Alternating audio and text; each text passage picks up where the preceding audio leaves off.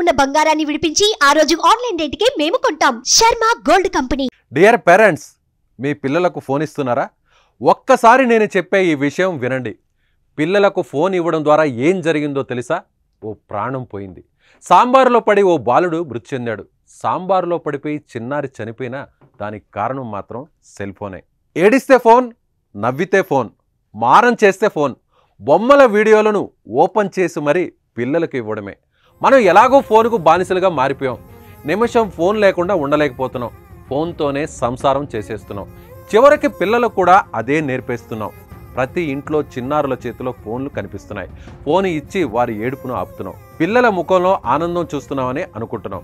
కానీ తెలిసి తెలిసి వారి జీవితాన్ని ప్రమాదంలోకి నెట్టేస్తున్నామన్న సంగతి మర్చిపోతున్నాం.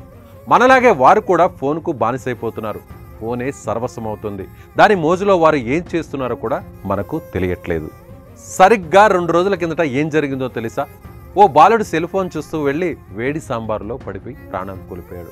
కర్నూలు జిల్లా గోనిగండ్ల మండలం వేముగోడుకు చెందిన జగదీష్ అమ్మానాన్నలతో కలిసి మేనమామ పెళ్ళి కోసం గద్వాల జిల్లా వడ్డేపల్లి మండలం పైబాడు గ్రామానికి వెళ్ళాడు. అయితే పెళ్ళి కోసం సిద్ధం చేసిన వంటలను ఓ గదిలో ఉంచారు పెళ్ళి బంధువులు. మొబైల్ గేమ్స్కు అలవాటు పడిన జగదీష్ పెళ్ళి వేడుకను పట్టించుకోకుండా ఫోన్లో మునిగిపోయాడు.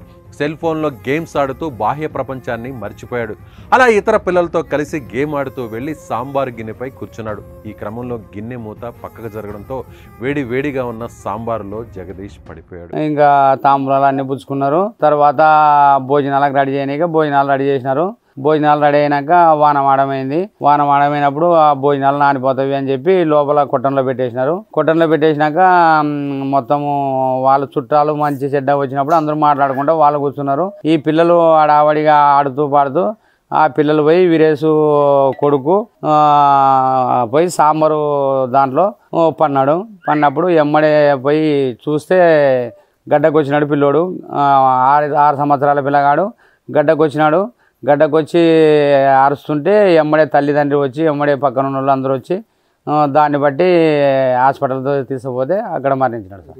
చిన్నారిని హాస్పిటల్కు తీసుకెళ్ళినా ప్రాణం మాత్రం దక్కలేదు. ప్రాణాతి ప్రాణమైన కుమారుడు చనిపోవడంతో ఆ తల్లిదండ్రులు కన్నీరు మున్నూరి అవుతున్నారు. వారికి ఇద్దరు కుమార్తెలు కాగా జగదీష్ ఒక్కడే కుమారుడు. ఊహించని విధంగా చనిపోవడాన్ని తట్టుకోలేక గుండెలు అవిసేలా రోధిస్తున్నారు ఆ తల్లిదండ్రులు.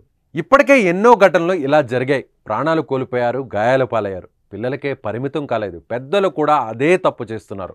ఫోన్ చూస్తూ ప్రమాదాల బారిన పడుతున్నారు. దయచేసి పిల్లలను ఫోన్ నుంచి దూరంగా ఉంచండి.